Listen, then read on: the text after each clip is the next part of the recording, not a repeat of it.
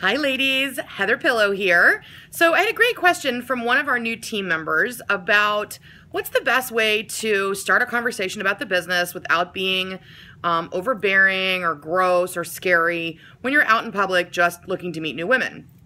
And I really find for me, it just for years and years, trying to use someone else's words just wasn't effective. It always felt very canned, and so it wasn't natural. And because it wasn't natural, I stumbled and stuttered, and it just felt weird.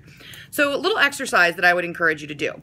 So, Pure Romance's tagline is empower, educate, entertain, right? And generally, each consultant identifies with one of those three more than the other two naturally. Doesn't mean that you don't believe in them and you don't work to achieve them, but there's one that's just a natural fit for your personality. For me, it's entertain. So when people ask me what I do if I'm at a cocktail party or a wedding or, you know, wherever, and they say, "Oh, well, you know, what do you do for a living?" I say, I actually own a business where I help women just like us plan really super fun ladies' night out events. That's it.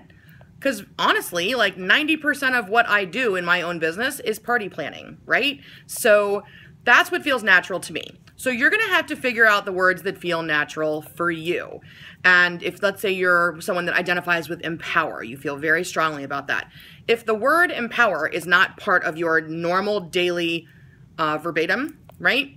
Then you're not going to use that word. You're going to use words that you associate with that, like help and teach, um, those kinds of things. So um, same thing for educate. You'll have to figure out how to use the words that are natural for you. And this is a good brainstorming activity um, in your new consultant trainings. So definitely make sure you do that. Now, the way that I approach people just in general, if I'm at Starbucks or Target or the mall or a concert or whatever, is just by striking up a conversation with them just like I would with anyone else. Cute shoes, great handbag, oh my gosh, your kids are beautiful, they're so well behaved, blah, blah, blah, whatever. Like if they're a mom and their kids are well behaved and you acknowledge it, best compliment ever, right? Um, so you just start chatting with them. You have to stop looking at them as potential clients and look at them as potential friends because that's really what these women should become when they do become your clients, right? So if I say to somebody, hey, I love your bag, where'd you get that? First of all, she's going to tell you everything there is to know about it, whether she got it on deal, if they're still selling them, if you've got a coupon you can find online. Like, we love to brag about our accessories and the fun deals that we found, right? And you can say, oh, that's so great. I am always looking for really cute bags.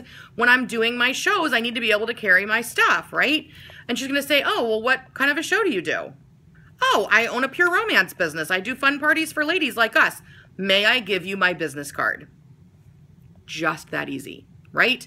So um, just make sure that it feels like you're talking to a friend. It it takes some practice. It's going to take some cojones initially. Like I'm not going to lie to you. Um, there's going to be times when you're going to be all bowed up and you're going to be like, I'm going to do it. I'm going to do it. I'm going to do it. I'm going to talk to her, and then she's going to walk out and you're going to be like, Ugh. and you'll be more frustrated with yourself that you didn't talk to her than that you did try to talk to her and maybe kind of fumbled through it. So um, my recommendation is to go out with another sister or even just a friend and work them all. Go to the makeup counters, go to the salons, go to spas, go where women hang out and go talk to them. So easy to do. I will tell you that in all of my years in business, I've been in business for a decade, two people, two in all those years have ever turned up their nose when I've offered them a business card. And that was in my first year of business. And I definitely didn't really know what I was doing and wasn't very smooth about it. So, in all these years, everybody's always, if nothing else, curious, but most of the time they're like, that's fun. Or, oh my gosh, I have a girlfriend that just went to those. Or, I've been invited to like six of those and I never get to go. They're excited, they're enthusiastic. We are providing a service that you cannot get anywhere else. So be proud, be excited about the fact that you have something to offer that they can't get just anywhere. So um, my recommendation is that underneath this video, you practice some words. Post some words that you're excited to use. Ask some questions. Make your own little video and post it here and we'll give you some feedback because it really is a matter of just practicing your words. Hope you girls found that helpful. See you next time. Mwah.